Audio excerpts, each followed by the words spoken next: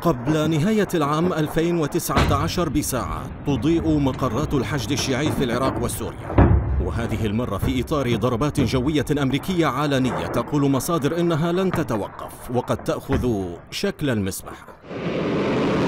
سلسلة غارات جوية شنتها طائرات أمريكية من نوع F-15 استهدفت مواقع لميليشيا كتائب حزب الله في الحشد الشيعي العراقي التابع للحرس الثوري الإيراني.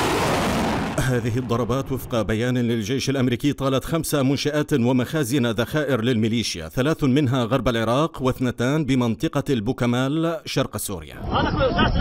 مصادر عراقية قالت إن الغارات الأمريكية دمرت مقرا رئيسيا لميليشيا حزب الله العراقية في قضاء القائم وأخرى بمنطقتي غابة سلوم والحرش غرب الأنبار. فيما ذكرت مصادر داخل ميليشيا الحشد أن الغارات تركزت على مقر اللواءين 40 و 45 قرب الحدود العراقية السورية ما تسبب بمقتل 27 عنصرا وجرح آخرين. حصيلة لا تبدو نهائية خصوصا بعد إعلان ميليشيا الحشد مقتل أبو علي الخزعلي القيادي في ميليشيا حزب الله. بالإضافة لمقتل ثلاثة قياديين في الحرس الثوري الإيراني لم تفصح المصادر عن أسمائهم. أمير الفوج الأول في اللواء أبو علي الخزعلي.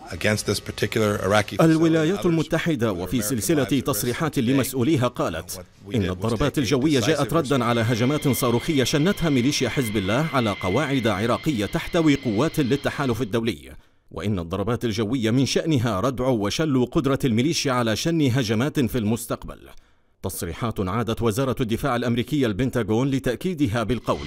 إن الغارات تأتي بعد مقتل متقاعد أمريكي وإصابة آخرين في هجوم لميليشيات عراقية تتبع لإيران على إحدى القواعد العسكرية في منطقة كركوك العراقية والله لن نسكت من الان لا تبدو تهديدات أبو مهدي المهندس نائب زعيم ميليشيا الحشد الشيعية ذات قيمة أو معنى وفق مصادر عراقية. ذلك أن الميليشيا التي تمددت بضوء أخضر أمريكي منذ أكثر من عشر سنوات تواجه اليوم ثورة شعبية لاقتلاعها واقتلاع كافة ميليشيات السرقة والفساد المرتبطة بإيران.